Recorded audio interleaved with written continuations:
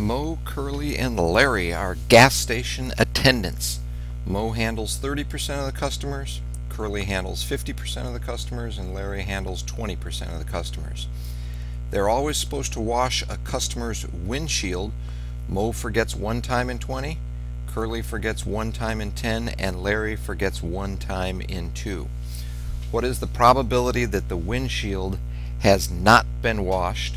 That's part A. Part B, given that a windshield was not washed, what is the probability that it was Curly who did not wash it? So the first step in solving this problem is to define events. And in this particular case, there are four events. The first event is M, which is the event that Mo handles the car. C is the event that Curly handles the car. And finally L is the event that Larry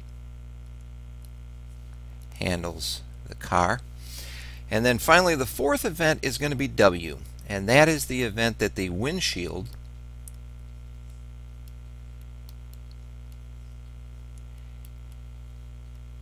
is not washed. Now, given those four events, the part A here is asking what is the probability that the windshield has not been washed? Well, that's just P of W. That's what the first one's asking for.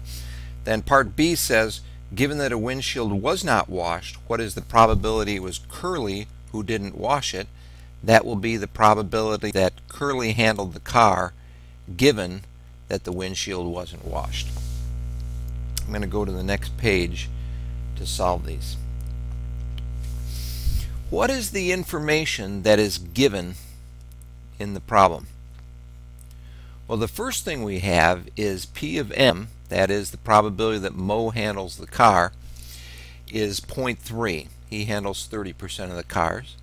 The probability that Curly handles the car is 0.5. He handles the largest fraction. And the probability Larry handles the car is 0.2. In addition, we have some conditional probabilities that are given in the problem. This is the probability that the windshield isn't washed giving, given Mo handles the car is 0.05. The probability that the windshield is not washed given Curly handled the car is twice that, 0.1.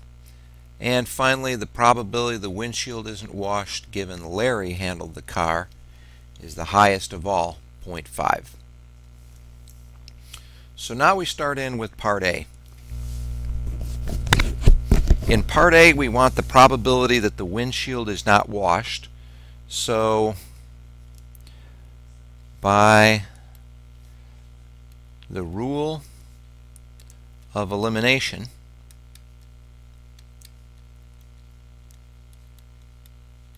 And this is also known as the law of total probability. We want to calculate P of W.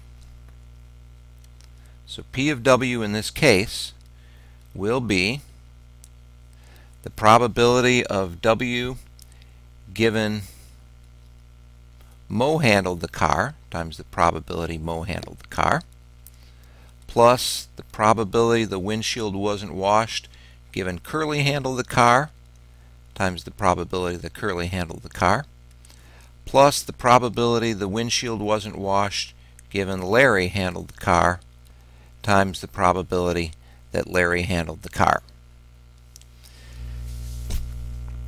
All of these are given up above, so let's just simply put those numbers in place.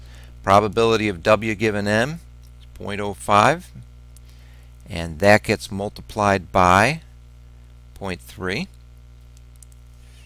Probability W given C is 0.1, and that gets multiplied by 0.5.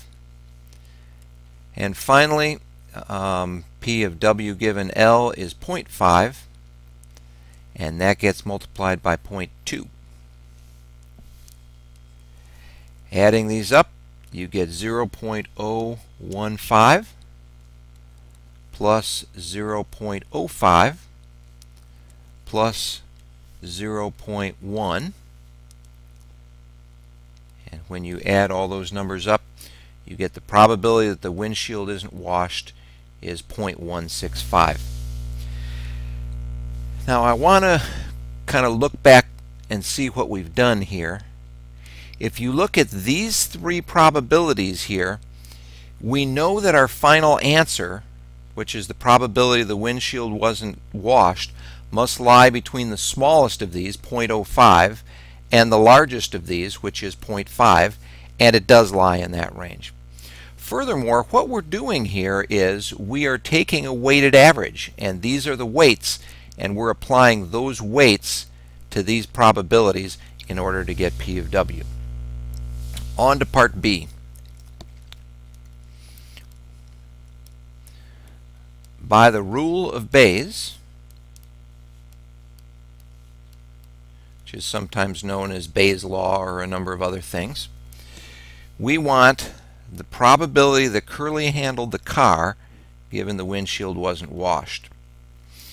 Now I like to, rather than just going straight to the rule of Bayes, I like using the definition of conditional probability and just writing that down here. This is the probability of C intersect W times or divided by the probability of W. And the probability of C intersect W is the probability of W given C times the probability of C. And then I'm just going to write the denominator here as P of W. You can see we calculated P of W in the previous uh, the uh, previous example. So uh, I will not write it out in this case. In this case, P of W given C times the probability of C, that was calculated right up here. And so that turns out to be 0.05. And P of W we got from part A, that is 0.165 and that ratio there turns out to be 0.3030 and that is the probability that the uh, car is handled by Curly given that the windshield is not washed.